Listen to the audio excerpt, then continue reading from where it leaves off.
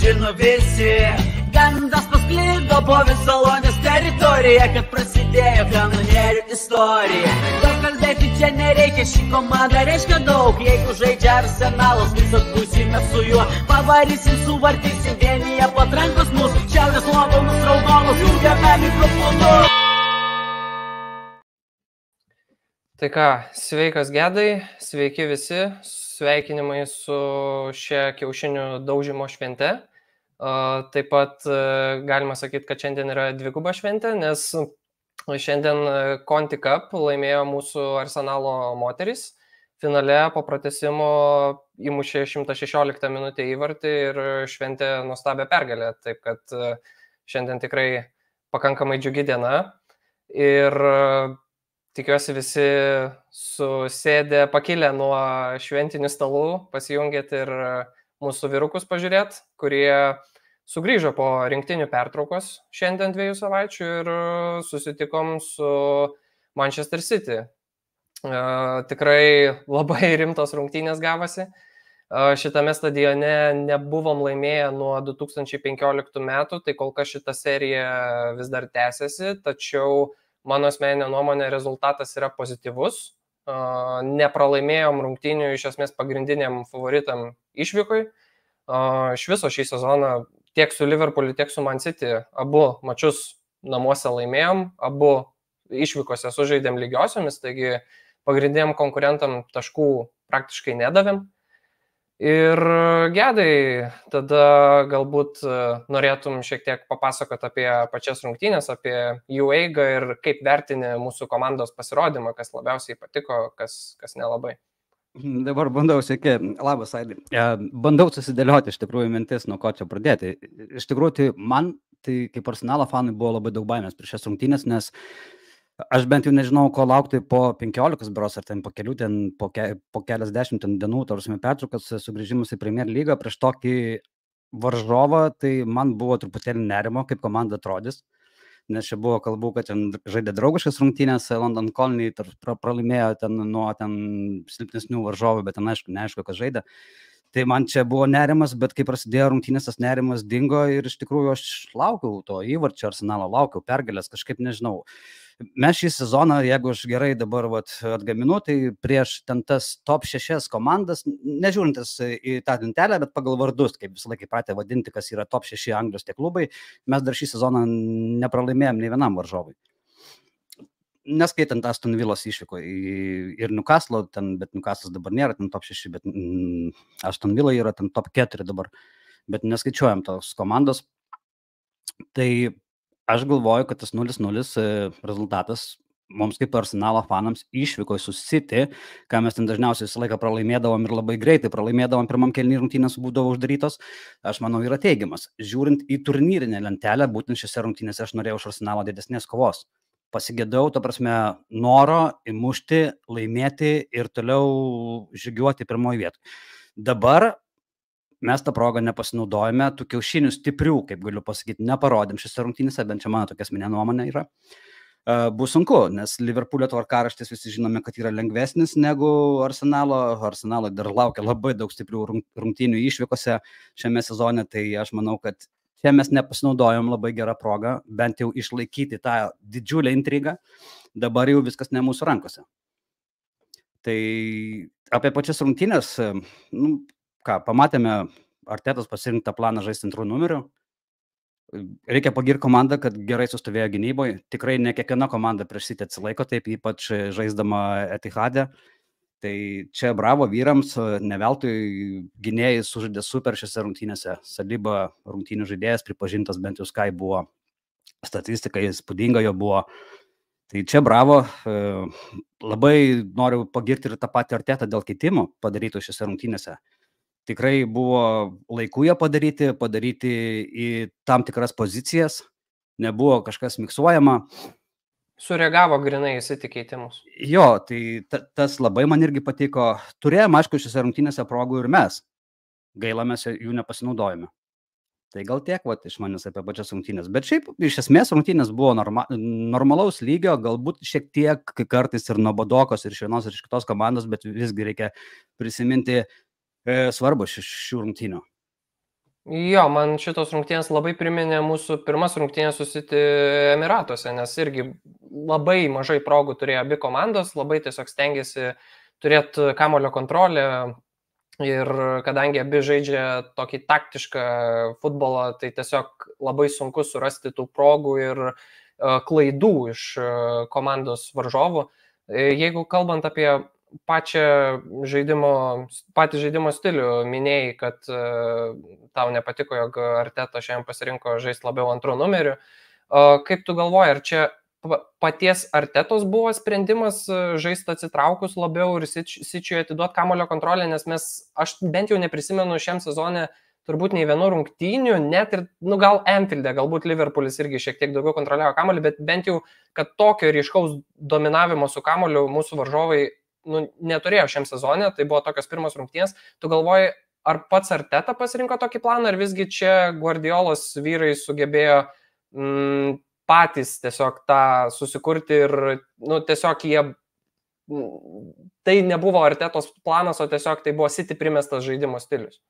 Ne, aš gal, gal ir pasitaisysiu, gal aš netaip įsireiškiau. Man ne tai, kad nepatiko, kad žaidėm antro numerio, bet man kaip fanui galbūt norėjosi truputėlį matyti kitokį žaidimą. Bet jeigu žiūrint, ta prasme, iš Artetos trenerių štabo, aš bent jau kaip įsivaizduoju, kaip jisai ruošia šią komandą, šią komandą rungtynėmis, tai aš manau, būtent toksai planas buvo sudėliotas - žaisti antrų numerių, gintis komandiškai, padėti viens kitam ir neleisti sičių pramušti. Tu jeigu žaisi su sičių pirmų numeriu, ypač išvykoje, tai tiesiog tarsi metai suvalgys sitis. Čia bent aš taip įsivaizduoju.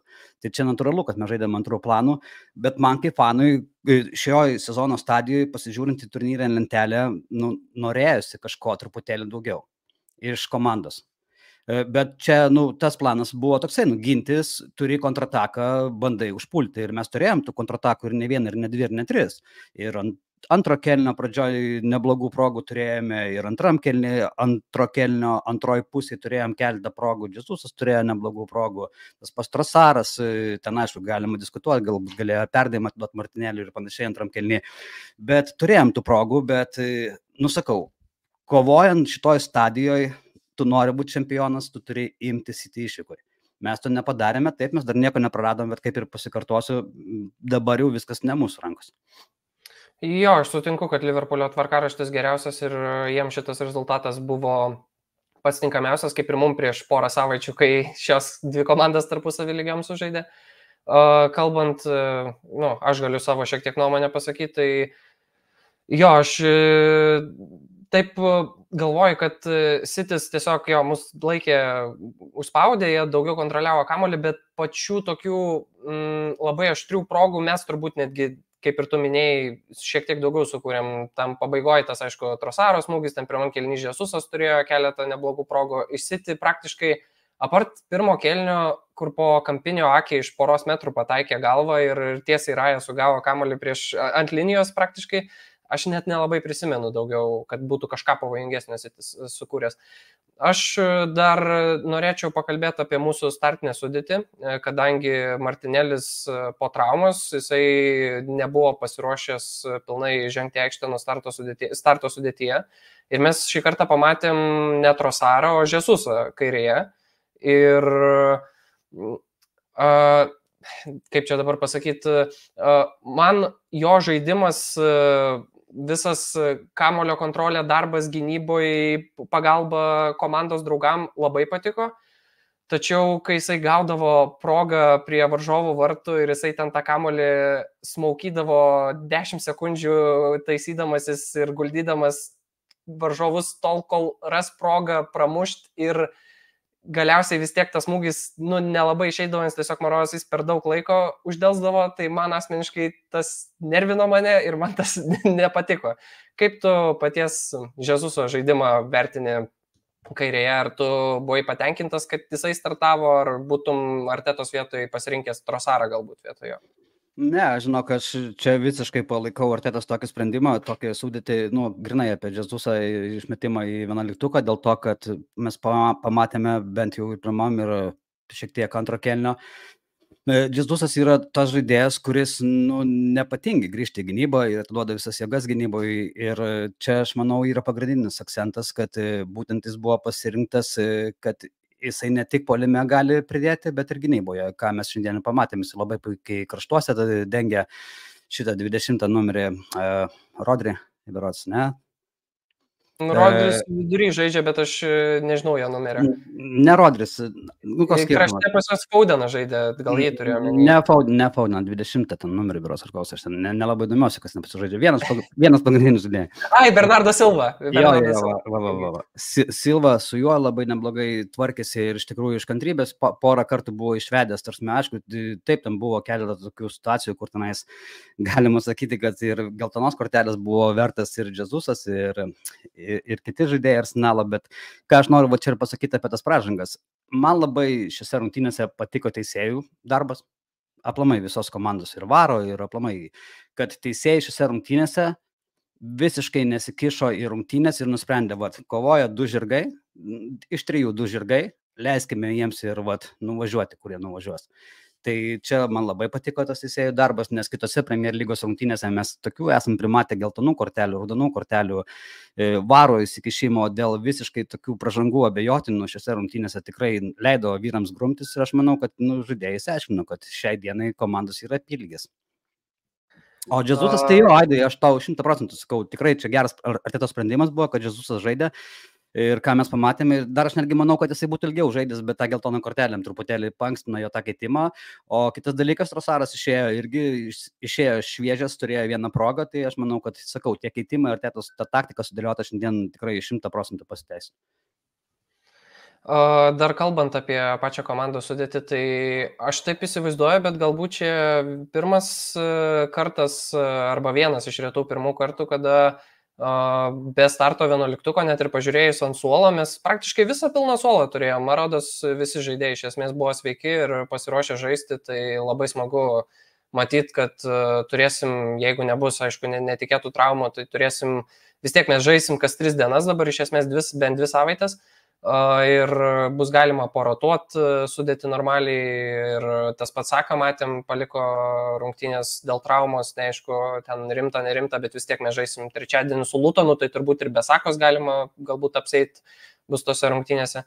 Dar paminėjai e, Salybą, kad jisai buvo išrinktas Man of the Match, man Labai patiko mūsų vidurio gynėjų darbas, ypatingai aš gal, mano asmeninė nuomonė, aš labiau Gabrielį skirčiau, kuris Holandą tiesiog varė iš proto visų rungtynių metu, absoliučiai ir dar po rungtynių matos irgi apsikeitė ten jie keliais žodeliais, tai absoliučiai jokių erdvių neleidom susikurti ir tiesiog labai, labai tas įstrigo ir nu, tikrai prieš City mes prisimenam ankstesniais, visais ankstesniais metais, kaip ir minėjai, kad jie mus tiesiog sudaužydavo iš esmės namuose. Dabar mes tiesiog žaidėm kaip lygus su lygiais, absoliučiai, visiškai nenusileisdami praktiškai niekuotai.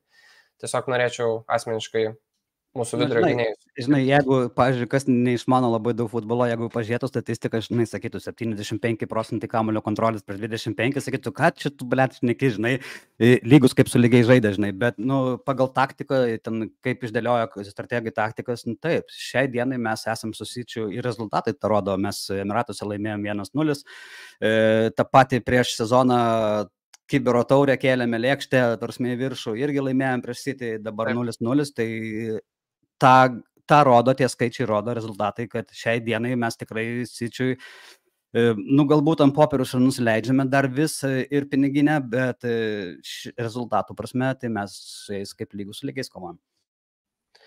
Rungtinių pirm, pirmo kelnio, galbūt pirmoji pusė man šiek tiek, man šiek tiek įsiminė, kad per Kiviero kraštą dažnai Sitis rengia atakas ir grinai Bernardo Silva ypatingai atakavo uh, Kivyro, bet po kelių tokių apėjimų paskui Kivyras, manau, pakankamai šiaip solidžiai atstovėjo, kaip ir rašo Ramūnas. Uh, tikrai, manau, užsitarnavo galbūt net e, poziciją tiek prieš Zinčenko, tiek prieš Tomijasu. Tomijasu matėm pasirodė pakeitimo. Tiesą sakant, aš e, nežinau, ar tikrai Kiviero reikėjo keisti, nes man netrodė jisai kaip e, kažkokia silpnoji grandis. Aš suprantu, kad turbūt Jeremy Doku su tokiais savo driblingo sugebėjimais prieš šiek tiek pavargusi Kiviero Tai Arteta turbūt pagalvoja, kad gal šviežesnis Tomiesų bus geriau, nors Tomiesų žaidimas man asmeniškai neipatingai krito į akį, jisai tenai kelias tokias, nu, lepsusus padarė, kamolį ten prarasdamas lygioje vietoje, bet, nu, bent jau su daug ko aišku susitvarkė pakankamai normaliai. Tai man tiesiog įdomi dar tavo nuomonė, ar manai, kad su Kyvėru ir toliau visą laiką startuosim kairio krašto gynėjo pozicijoje, ar reikėtų tavo nuomonę leisti labiau šitą Zinčenko arba tą patį Tomijasų? Mm, sunku pasakyti, žinai, į artetos galvą tu neįlysi. Dabar uh, pastaruoju metu Arteta tos laiminčios komandos nelabai mėgėjas keisti yra.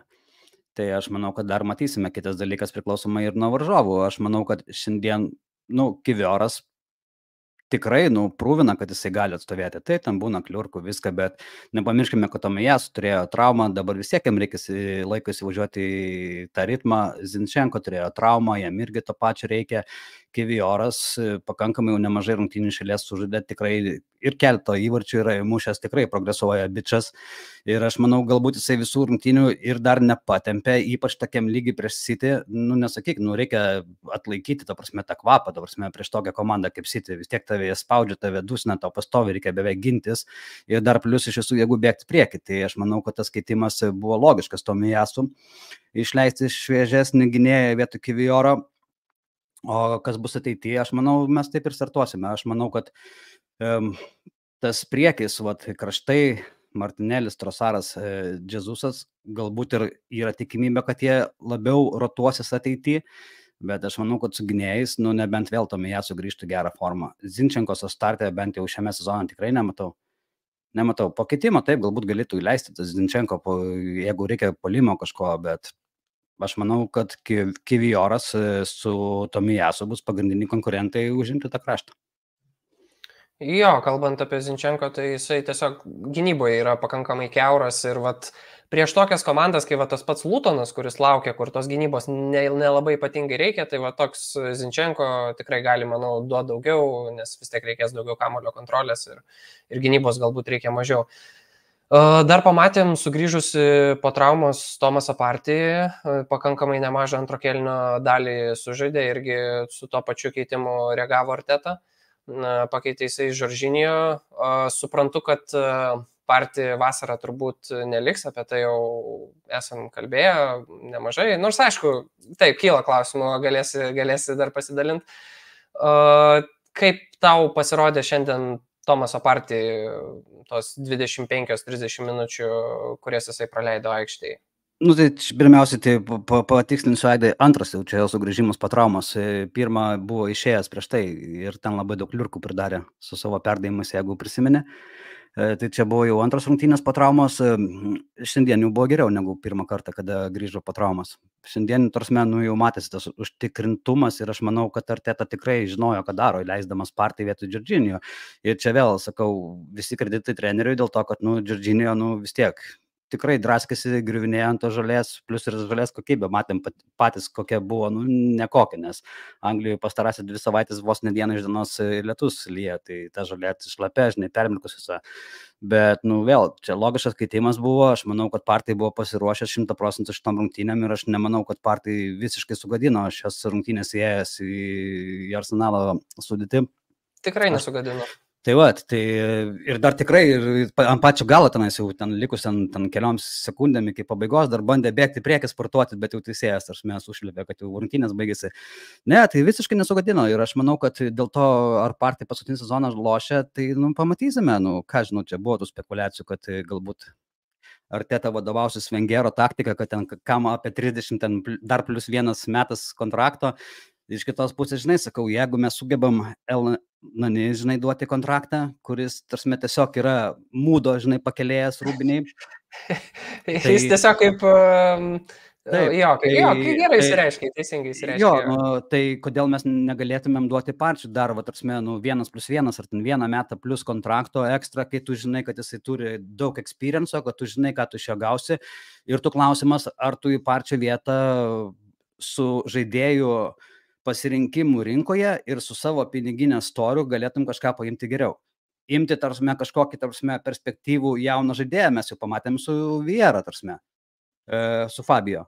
nu, paėmėm perspektyvų iš niekur, niekur žaidėjo, tarsi saugą, nu, galbūt jisai nėra atraminis saugas, galbūt labiau į polimą orientuotas saugas yra, ar ten, ar ten kraštas, ar mes gali kraštuosi dar lošti, bet esmė tame, kad nu, mes pamatėme, kad jisai irgi yra traumingas, e, kad jisai gali vienose rungtynėse iššauti, mes jį aukštinsime, o čia Fabio Viera, oho, ten žinai, bet, bet paskui jisai gauna traumą, nežaidžia visą sezoną, paskui išeina ten irgi pridaro kliurkų, tai žinai, tai mes turime partiją, kur mes tikrai jau žinome, ką iš jo gausime. Taip, ten neskaitant tų rungtynių, kad atsigrįžo po traumos, nes irgi išbėgo iš ten, pradėjo tos kamuolius jautas spardyti, kiek aš pamenu.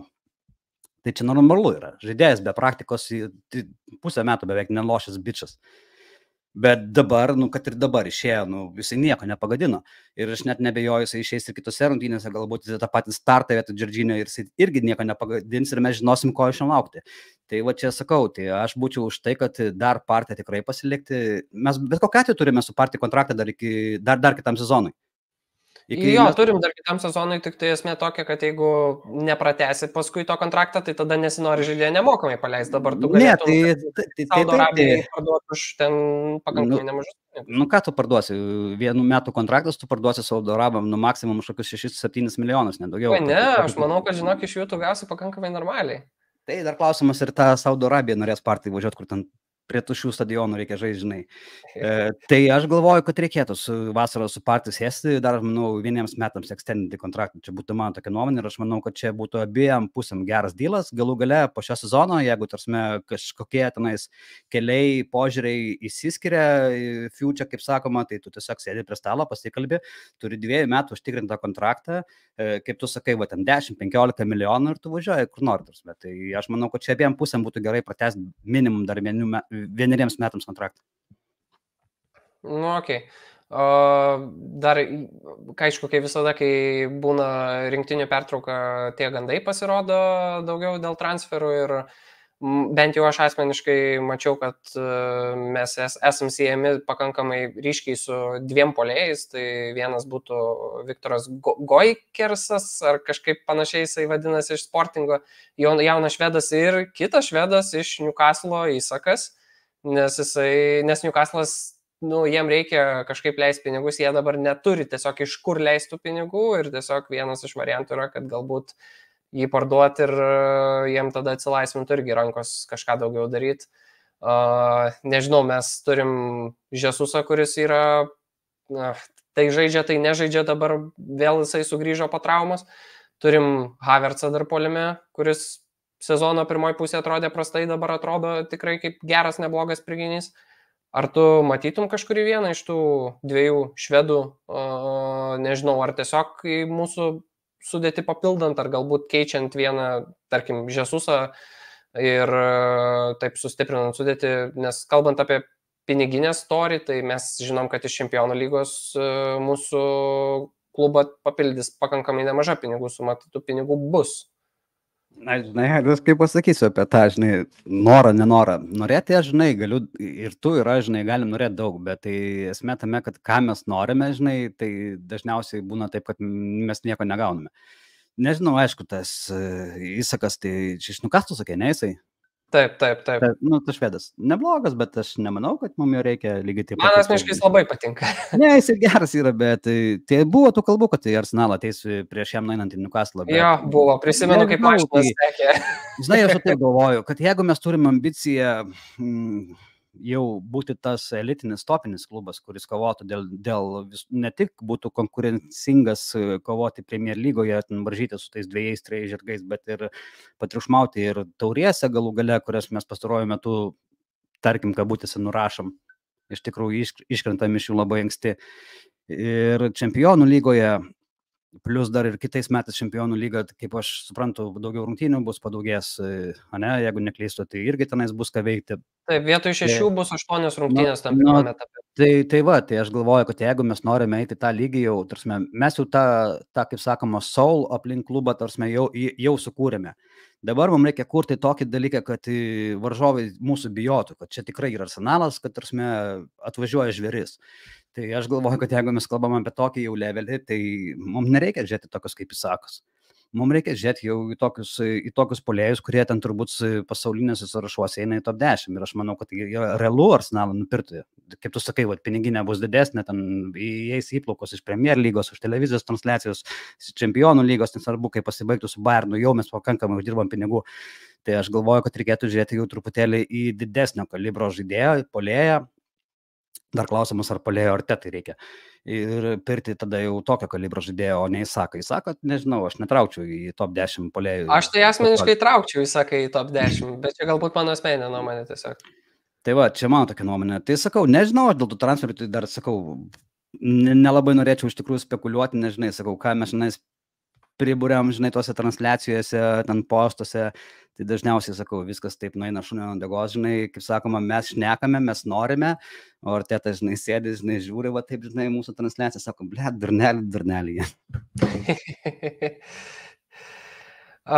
Galbūt yra kažkokių komentarų, kur galėtume perskaityti įdomesnių Jo, vieną norėčiau parodyti ir iš tikrųjų norėčiau su tavim padiskutuoti, nes aš turiu labai tokią jau šimtaprocentinę savo kategorišką nuomonę dėl šio sezono. Va, tai Tomas rašo komentarą, va, dėl gynėjo kairėje nepamirškime Timberio. Tokiems kaip Doku stabdyti, manau, šimta procentų pasiruošęs, tinkamiausias. Mes neturime staigaus gynėjo. E, aišku, čia tarsi jam ir Ramūnas iš karto atsako, bet tai neaišku, ar Timberis atrodys, be iki sezono nežaidęs. Tai va, aš turiu savo bent jau nuomonę tokią, kad e, Timberio mes šį sezoną pamirškime, Hebra, aš taip galvoju. Geriausiu atveju, geriausiu atveju, čia mano tokia yra nuomonė, kad jeigu tikrai mes jau tam paskutinėse rungtynėse, tarsi, nekovom dėl titulo, arba mes jį būnam užsitikrinę, kas greičiausias bus jau, pavyzdžiui, nu, procentaliai sakyčiau, kad pirmas variantas mano išvardintas būtų procentaliai, nu, tik, tikimesnis. Tai tada gal Timberį antram kelnį gal ir pamatytumėm truputėlį apšilti kojas Premier lygoje, bet šiaip tai šį sezoną Timberio nu, nesitikiu. Aš nemanau, kad ar tada surastų tiek drąsos išleisti žaidėją, nesvarbu, ant kiek jisai būtų pasiruošęs žaisti, visą sezoną ne, nežaidžiant tokioj stadijoje, kaip tu kovoji. Ir leisti žaidėją, kuris, nu, visiškai, tarsi, kaip sakoma, iš kosmoso nusileido, vat, bėg, vat, atnešk mums kažkokį rezultatą. Tai aš galvoju, kad Timber šį sezoną autas, kitą sezoną jisai mūsų kaip naujas pirkinys ir mes turim vėl dėti viltis, tikėtis, kad jisai, vat, kaip vat, sako vat, Tomas, kad vat, tokius kaip Dokų ar ten kitus žaidėjus galės sustabdyti. Tai čia mano tokia nuomonė. Nu jo, teisingai visai pasakėjai, dabar vis tiek sezone liko iš esmės du mėnesiai mažiau net negu du mėnesiai turbūt. Uh, ir nu tos kiekvienos rungtynės yra aukso vertės ir dabar net jeigu yra pasiruošęs Timberis jį leisti, būtų gan sudėtinga. Čia turbūt, gal, gal aš nebūtinai sakyčiau, kad reiktų laukti paskutinių sezono rungtynių, nežinau, galbūt va, tu žaidži namuose prieš kokį Bormutą ir rezultatas yra, nežinau, 3-4-0, yra 60-70 minutė, bičiui prasilakstyti išeiti 20 ar 30 minučių, manau, irgi būtų pats tas. Arba aišku, jeigu žiauresnis atvejis, galbūt jeigu kitus žaidėjus traumas išpjautų, tai tada tiesiog nu, tu turi kažką daryti ir bandai tada leisti timberį, nes vis tiek buvo pasirodę pranešimų, kad jis jau po šitos rungtynių pertraukos turėtų būti pasiruošęs. Aišku, kaip matom, jo ant suolo nebuvo, tai reiškia, turbūt jam reikia dar daugiau to laiko, vis tiek ta trauma yra žiauri, kuriais patyrė ir labai gaila. Tai tikiuosi, kad nu, kitam sezone mes jį jau turėsim pilnai žaidžiantį ir uh, nu, kaip ir tu sakei, tada grinai realiai bus mūsų naujas pirkinys, nes mes šiam sezonui matėm dviejose rungtynėse, pusantros gal rungtynių, taip, taip tiksliau, Community Shieldas ir pačiam sezono startė. Taip, ir aš galvoju, mes į tokį kaip Timberį, aišku, ne visi žaidėjai sugrįžta po tokių traumų, žinai, tarsi tokie, kokie būdavo anksčiau, žinai. E, bet jeigu jis sugrįž e, tokio prospekto, kaip mes vat, tikėjomės iš jo, tai aš manau, tikrai jisai gali duoti labai daug naudos mūsų komandoje, žiūrint į kitą sezoną, atsakau, viskas priklauso, kaip jam ta trauma atsilieps, nes kiti žaidėjai, žinai, patyrė tokias traumas, tiesiog, nu, jau nebepažaidžia, žinai, jau visai kitaip žaidžia. Tai čia sakau, yra labai daug klausimų, O galbūt e, atvirkščiai, žinai, kaip sako, kaip žaidėjas gauna tokią traumą, jisai dažniausiai visą laiką papostina, ten bent į Twitterį ar ten kažkur, ar komandai išfiltruoja, žinai, kad, tipo, aš sugrįšiu stipresnis, tai, žinai, galbūt grįž dar, žinai, žiauresnis, stipresnis ir tikrai turėsime žvėrį, ko aš ir palinkėčiau jam iš tikrųjų, bet sakau, šį sezoną tikrai aš nesitikiu pamatyti komandoje. Ir dar netgi iš tikrųjų prieš šį sezoną net norėjau nusipirkti marškinėlius su jo pavardė. Nežinau kodėl, bet man jo grinai pavardėtas Timber, prasme, ir tas numeris jo ant marškinėlių. Tikrai skamba, taip toks jo, tvirtas medis, taip žinai, kaip jo, Timber. jo, jo, labai gerai skamba, bet sakau, jisai taip iškart traumą gavo ir aš taip gavosi, taip, kad jau tos minties atsisakiau bent šitam sezonė, tai vat išeis e, nauji, nauji marškinėliai gegužės gale, tai vat reikės gal pagalvoti apie tokį variantą iš naujo. Tai ką, tai tada mūsų dabar e, laukia rungtynės, kaip ir minėjau, kas, kas tris dienas, sekantis e, varžovas bus trečiadienio vakare, bus vėlyvas pakankamai laikas, apie, apie 10 val. Lietuvos laiku, ten tiksliau gal reiktų pasižiūrėti, žaisim namuose su Lutonu. Ir paskui iš karto šeštadienį Brightonas laukia išvykoje, tai reikės, manau, paratotą sudėti ir tikėkime, kad uh, grįšim į pergalių kelią, pralaimėjimo išvengiam, tačiau pergalių serija Premier lygui nutrūko, buvo aštuonios iš eilės, dabar va lygiai susiti, tai norint kovo dėl titulo reikia skintas pergalės, nes dabar, kaip ir tu minėjai, mes nebesam jau tie na, favoritai, nebesam uh, pirmoje vietoje, Liverpoolis dabar kontroliuoja situaciją. Svarbiausia, visai neblogas dalykas, kad mes dar turim tą goal difference geriausią, tai mums užtenka tiesiog juos pavyti iš esmės. Tai va, ir nežinau, jeigu nėra daugiau jokių kampų paliest ar klausimų, tai tada turbūt įsivaizduoju, galim baigti transliaciją ir nežinau, gal kas nors dar grįž prie šventinių stalų kiaušinių daužti. O, žinok, tai aš manau, kad jau žmonėm po ryto jau pilvai pučiasi dabar ant vakaro, žinai, dabar reikia skyšių daug gerti, kad suvirškintų tos kiaušinius. Jo, aš manau, kad reikėtų baigti transliaciją. Po Lutono turbūt tikrai nesusitiksime, po Brightono nežinau kaip bičiuliai tai galbūt ir padaryti reikės, nes tikrai neblogos rungtynės turėtų būti, visgi Brightonas nėra ten tokia komanda, jau labai prasta ir tikrai bus sunku. Ir kitas dalykas, dar turbūt reikėtų pasakyti, kad balandžio 22 dieną mes susitinkam Vilniuje visi. Balandžio 20, ne 20. 20, jo, jo, jo 20. Tai ir aš būsiu, ir Raidas bus, ir Mantas bus, ir Donatas bus. Vienu žodžiu, visi beveik būsime, turbūt, kažinais prisijungi live transliacijas. Uh, tikrai padarysim gerą e, vakarėlį Stars and Legends bare, mes ten viską užsakę esame, dar derinam paskutinės detalės, tikrai pabandysim jūs nustebinti, bent jau su kažkokiam vaišiam iš bendruomenės pusės, e, nes tikrai esame sukaupę truputėlį ir pinigėlių, e, kurie mus remia Contribui platformoje, tai tikrai pabandysim atsidėkoti Hebrai, kurie ateis ir smagiai pabūsime, pavakaro, pavakarosim, kaip sakoma.